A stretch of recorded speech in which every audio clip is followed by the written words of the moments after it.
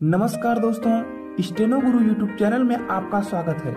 हमारे साथ जुड़ने के लिए सब्सक्राइब करिए स्टेनो गुरु यूट्यूब चैनल को और नए डिक्टेशन सबसे पहले लिखने के लिए बेल आइकन को क्लिक करें। डिक्टेशन स्टार्ट न्यायिक नियुक्तियों पर केंद्रीय कानून मंत्री रविशंकर प्रसाद का यह बयान कॉलेजियम के अनसुलझे सवाल को नए सिरे से रेखांकित करता है कि कानून मंत्रालय महज पोस्ट ऑफ़िस नहीं है।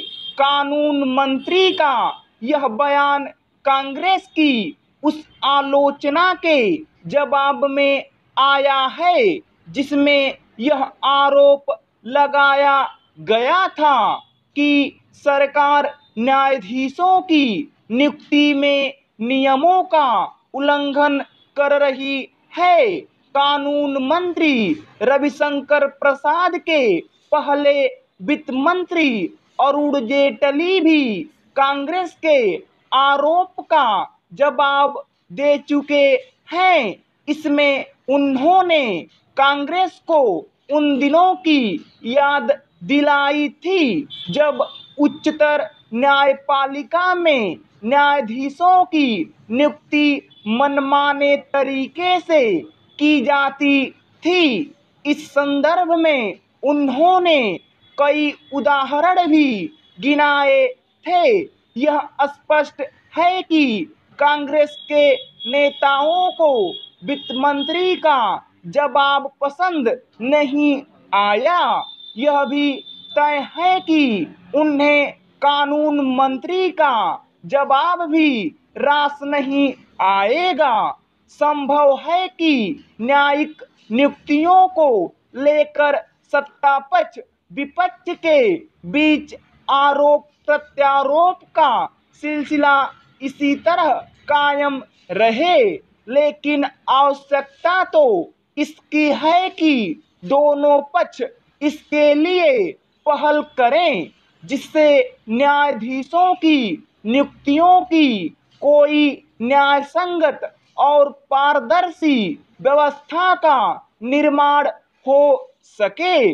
न्यायिक नियुक्तियों पर पक्ष विपक्ष का रुख रवैया भिन्न भिन्न हो सकता है, लेकिन उन्हें इस पर एकमत होना चाहिए कि न्यायाधीशों की मौजूदा नियुक्ति प्रक्रिया लोकतांत्रिक मूल्यों और मर्यादा के अनुरूप नहीं। कम से कम राष्ट्रीय महत्व के मसलों पर तो पक्ष विपक्ष को दलगत राजनीति से ऊपर उठना ही चाहिए।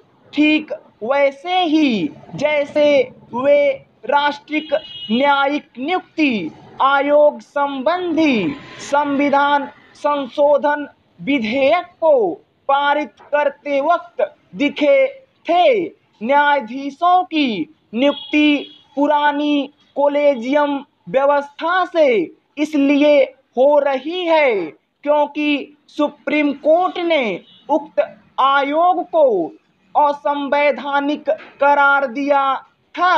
हालाँकि इस आयोग को असंवैधानिक करार देते हुए सुप्रीम कोर्ट ने कॉलेजियम व्यवस्था में संशोधन की ज़रूरत जताई थी, लेकिन जानना कठिन है कि इस व्यवस्था में बदलाव क्यों नहीं हो सका। इस बदलाव के लिए मोमेरेंडम ऑफ़ प्रोसीजर को अंतिम रूप देने की जो पहल की गई थी, वह भी आगे नहीं बढ़ पा रही है। ऐसा लगता है कि सरकार और supreme court memorandum of procedure के प्रावधानों पर भी एकमत नहीं। सच्चाई जो भी हो, यह ठीक नहीं कि न्यायाधीश ही न्यायाधीशों की नियुक्ति करें। किसी भी लोकतांत्रिक देश में न्यायाधीश अपने साथियों की नियुक्ति नहीं करते, लेकिन भारत में ऐसा ही होता है।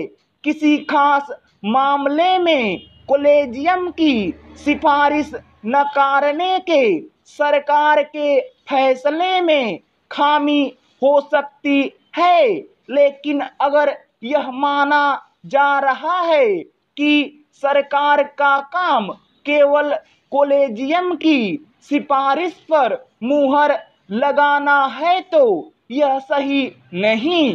बेहतर हो कि सुप्रीम कोर्ट भी यह महसूस करे कि उस व्यवस्था को बदले जाने की ज़रूरत है, जिसमें न्यायाधीश ही न्यायाधीशों की नियुक्ति करते हैं कानून मंत्री का। यह कहना सही है कि न्यायाधीशों की नियुक्ति के मामले में वह अथवा उनका मंत्रालय पोस्ट ऑफ़िस की तरह काम नहीं कर सकता, लेकिन केवल इतने से बात नहीं बनेगी। उचित यह होगा कि सरकार न्यायिक नियुक्ति आयोग के लिए फिर से पहल करे।